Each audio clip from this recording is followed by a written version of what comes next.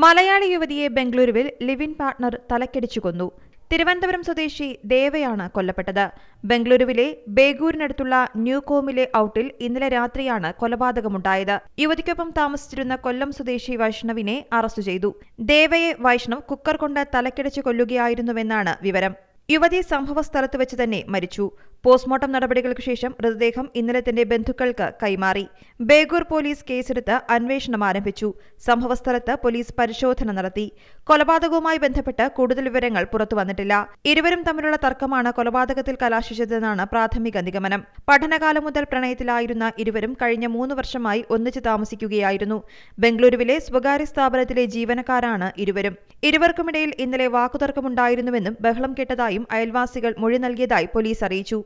Begur police കേസെടുത്ത് അന്വേഷണം തുടങ്ങി. യുവതിക്ക് മറ്റൊരാളുമായി ബന്ധമുണ്ടെന്ന സംശയമാണ് കൊലപാതകത്തിൽ കലാശിച്ചത്. News desk Zee Malayalam news.